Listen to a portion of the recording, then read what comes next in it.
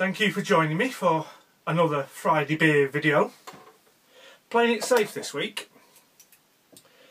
As much as possible I do like to try new beers on a Friday and it doesn't always work out so well so I'm playing it safe with the Hoegaarden. I do like that name, Hoegaarden. I think everybody should have a garden. Oh, right. So we've got 750ml of 4.9% wheat beer.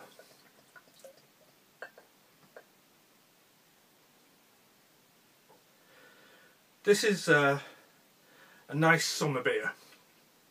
Takes a chill well.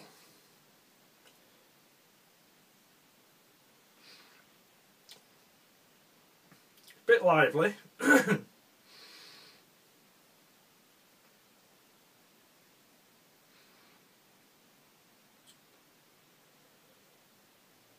when you order it in a pub on draft. It's served in a big glass plant pot. Right so. There we go.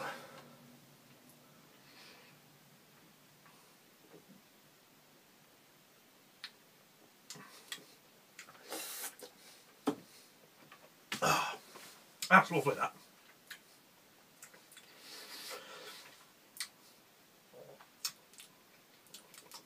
quite a fruity, floral flavour. But nice malty edge to it as well. So, if you've never had it, or if you've never had any wheat beer, Hoegaarden, I like that. So to business, KnifeTex's in the house. Or is he? About three weeks ago, maybe a little bit more, my good friend Knife Tex sent me a gift package from Texas and was following the tracking from, well, first on USPS and then on Royal Mail. And on the 12th of September, the latest update was that it had left Heathrow Airport and normally what you'd see is a couple of days later the next update will be received at Manchester Mail Centre. Then the day after that would be received at local delivery office. And the day after that will be out for delivery. But the trail stopped dead on the 12th having left Heathrow Airport. And the customs have had it. Now got a bit of a beef with the customs. I've had quite a few things confiscated incorrectly. And I've done videos on that in the past. And it's certainly happened with stuff that KnifeTex has sent. And they whipped a Kershaw Crown, which at the time was available to buy from Heinnie Haynes. Not, not illegal at all. So I waited and I waited. And you don't get any more updates if the customs select your package for inspection. And I don't actually have a problem with the inspection itself. I think security is more important nowadays than it's ever been. But I do have a problem with nicking stuff. And I do have a problem with the fact that if a package gets pulled by the customs for an inspection, you don't get any more tracking information at all. And there's no reason why, technologically, there couldn't be appropriate updates. So, instead of just saying left Heathrow Airport on the 12th, and you never get anything after that, why can't it just say selected by customs? Then a few days later, released by customs. And then track it on the rest of its journey as it would be done normally. So anyway, on Wednesday, it turned up. So that left Heathrow Airport. So basically, it was lifted by the customs on the 12th. And Wednesday would have been, what, the 25th. So nearly two weeks delay it finally turned up and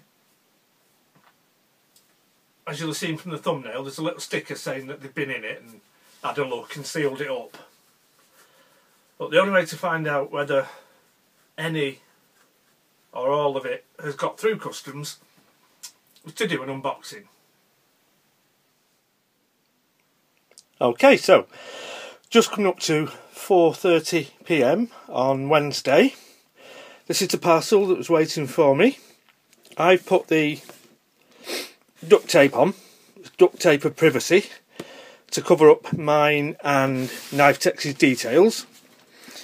The key tape that we need to be aware of is this here. Customs examination. They've been in the box and they've had a nosy. And what I need to work out now is what, if anything, has made it through customs. So as I say, I'm just in from work and my pocket knife today been this case mini butter bean, a small canoe pattern. I'm just going to go straight in through the top there. Something, at least, has made it through customs. I don't know how much of the original contents have. Customs declaration did say there were multiple items. Oh, now we've got a note. Oh, let's have a look. Bear with me a moment.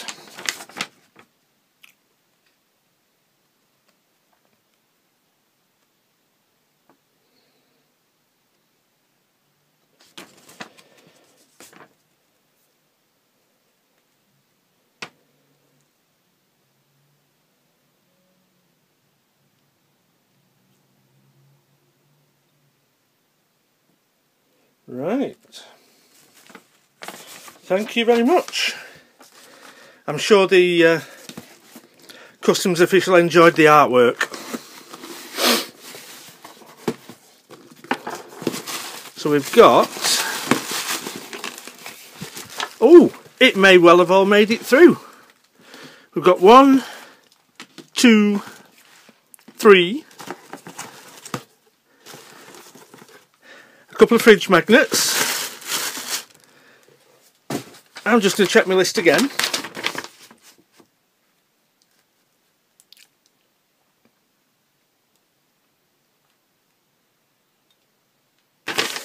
I do believe it's all made it this time. Got a couple of fridge magnets.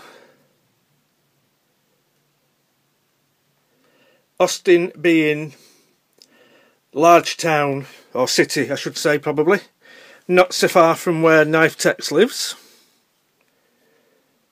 And the state capital. And that's a, a 3D magnet as well. Very nice. So we'll put those two to side and we'll have a quick look through what these items are. I'll do full videos on everything.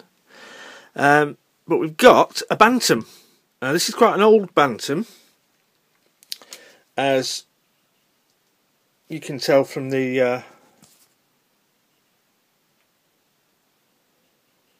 the emblem there. And according to Amos's note we've got an older pattern of combo tool as well. Now I believe these items were picked up from a confiscation sale from the TSA the uh,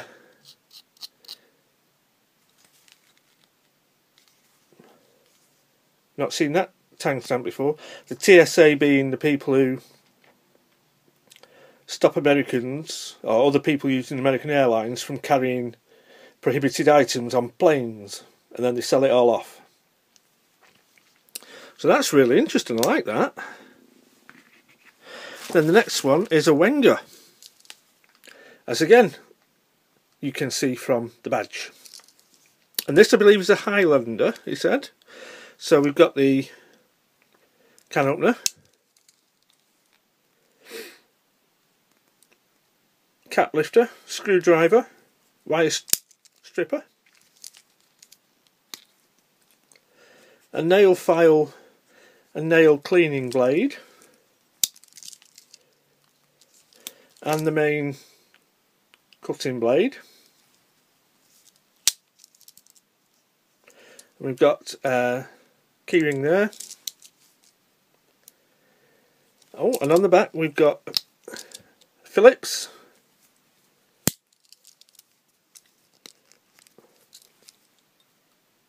And an awl. So quite a useful range of tools on that one. Very nice indeed. Get back in focus. And then this one, I'll just refer to my notes again, to Knifetex's letter. A Booklight Tool 355. Appears unused, not seen very often, and quite pricey on eBay when you do. And Knifetex's comments are that the manufacturing is good, but the design's flawed. So let's see what we've got. Oh. Oh, now. Let's move these out of the way and get refocused. I've never seen anything like this before. And it does look completely blemish free. So I reckon Amos is right that this has not been used. So how do we get... Oh, right. Oh. Interesting. Nice plier head.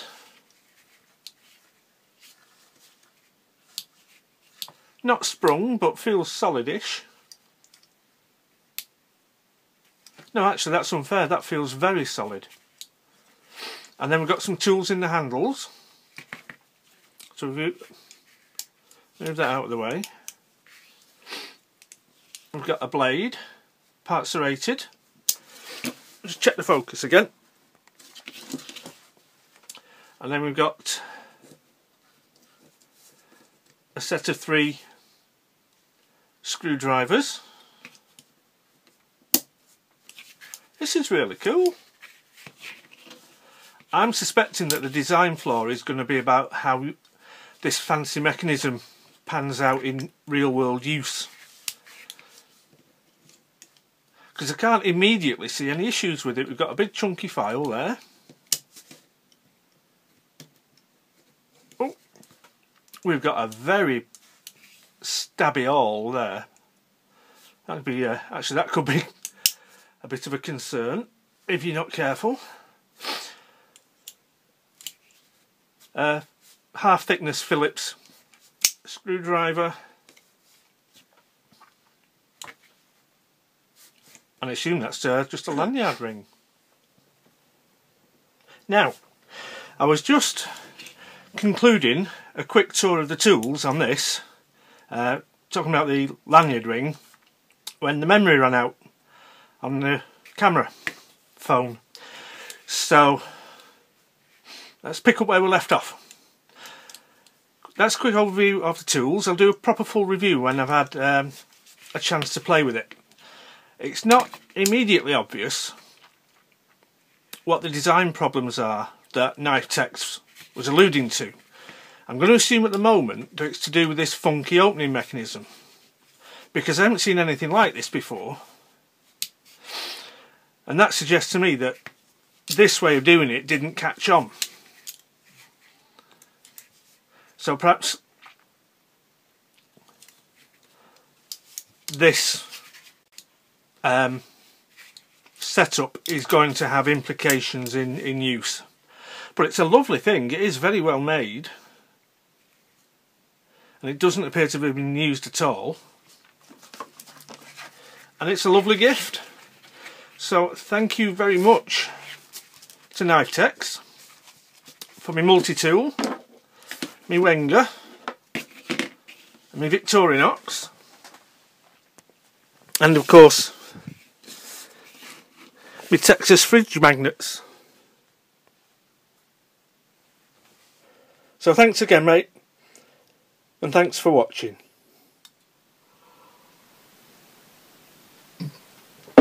So, there you have it. The customs have opened the box up, they've inspected the contents, and they forwarded it all on unmolested. Very surprised at that. Pleasantly surprised, as you imagine, but